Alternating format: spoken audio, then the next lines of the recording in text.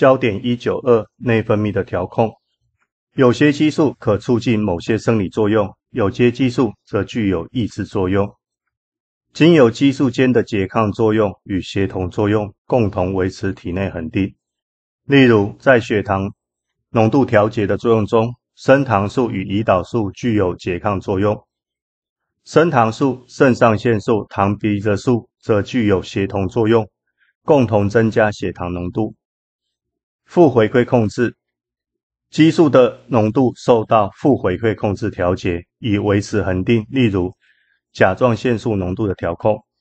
下视丘所分泌的 TRH 促甲状腺素四素，可经由脑垂腺门脉的运输，作用于脑垂腺前叶，促使脑垂腺前叶分泌 TSH 甲状腺刺激素。TSH 经由血液运输，作用在甲状腺素。促进甲状腺的生长与分泌甲状腺素，透过负回馈控制的机制，维持 TSH 与甲状腺素的浓度与正常的生理功能。当甲状腺素浓度过高时，则会抑制 TRH 与 TSH 的分泌，进而抑制甲状腺素的生长与甲状腺素的分泌。当体内甲状腺素浓度过低时，TSH 的分泌会增加。促进甲状腺的生长与甲状腺素的分泌，正回馈控制激素也可透过正回馈控制引发特殊的生理反应，例如泌乳反射。喂哺母乳时，婴儿吸吮乳头，刺激乳头的感觉受器，乳头的感觉讯息传递至下视丘，引发下视丘分泌 P H，催乳素四素。PRH 刺激脑垂腺前叶分泌 PRL 催乳素，催乳素刺激乳腺制造乳汁。乳头的感觉讯息也可刺激脑垂腺后叶释放催产素，催产素引发肌上皮细胞收缩，使使乳汁排出。乳腺周围具有肌肉特性的上皮细胞称为肌上皮细胞。当肌上皮细胞收缩时，可促使乳汁排出，乳汁的流出使得婴儿更加吸吮乳头，乳头受器接受到更多的刺激，并传递讯息至下视丘，透过正回馈控制的机制，促使乳汁可于短时间内大量排出。婴儿吸吮刺的婴儿的吸吮刺激也会抑制母体下视丘分泌 GnRH 促腺促性腺素四素。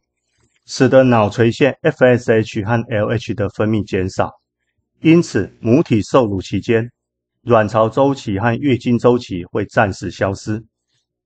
血压的调节，颈动脉和主动脉管壁具有血压受器，可侦测动脉内的血压变化。肾脏内的入球小动脉也具有血压受器，可侦测血压。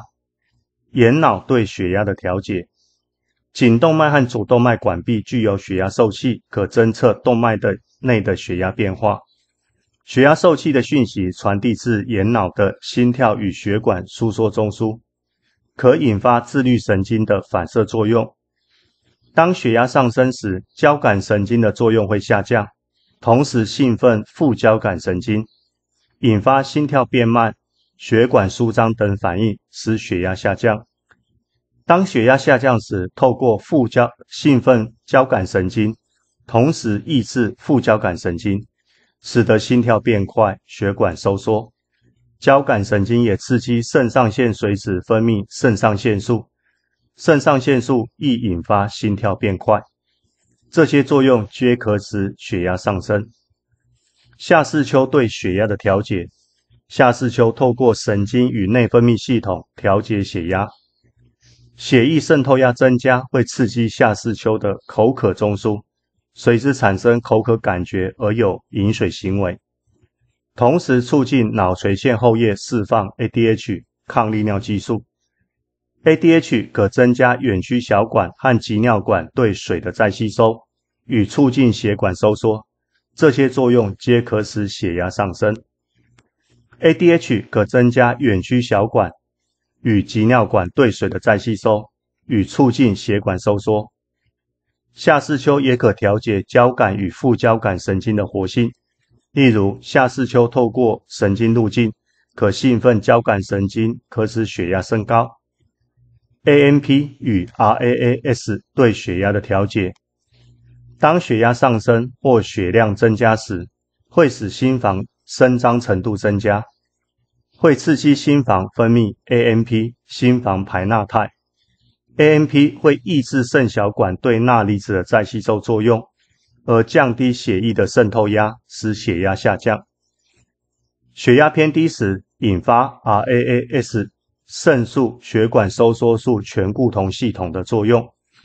肾脏内的入球小动脉的血压受器会分泌肾素，肾素会促进肾上腺皮质分泌醛固酮，醛固酮会促使肾脏对钠离子的再吸收作用增强，进而升高血液的渗透压。在经由血的水分的渗透而增加血液体积，使血压上升。血压下降时，肾素会活化血管收缩素，血管收缩素会促使血管收缩而增加血管阻力，促使血压上升。